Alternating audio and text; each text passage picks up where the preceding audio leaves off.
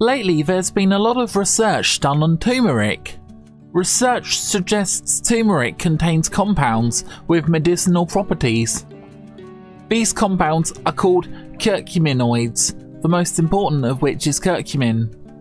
It can be hard for the body to absorb curcumin.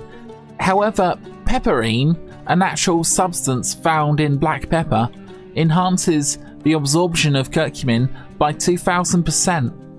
Curcumin is fat soluble, so I have a bit of butter added to the recipe as it's cooked.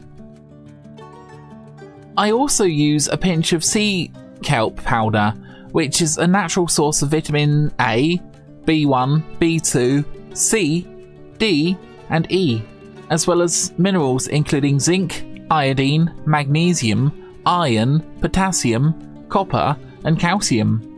In fact, Kelp contains the highest levels of calcium of any food, 10 times more than milk. Iodine can also help regulate the metabolism, though you only need a small pinch of sea kelp.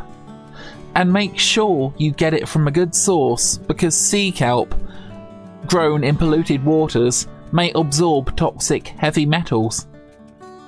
Firstly, break 2 to 3 eggs in an ordinary microwavable kitchen bowl. Add 1 teaspoon of turmeric.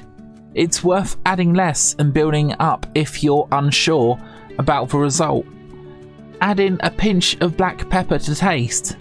The black pepper improves the absorption of the curcumin in the turmeric. Add a splash of whole or semi-skimmed milk so you could replace this if you're a vegan, or leave it out entirely. Now, whisk the mix for about 45 seconds until it is well mixed. Place in the microwave for about four and a half minutes on full power. Be careful because the bowl may be hot. If some of the egg is still runny, you can either mix the mixture, allowing the heat to solidify the egg or place it back in the microwave for another 30 seconds. Now add in half a teaspoon of butter. Allow the heat to melt the butter. A slice of toast is optional.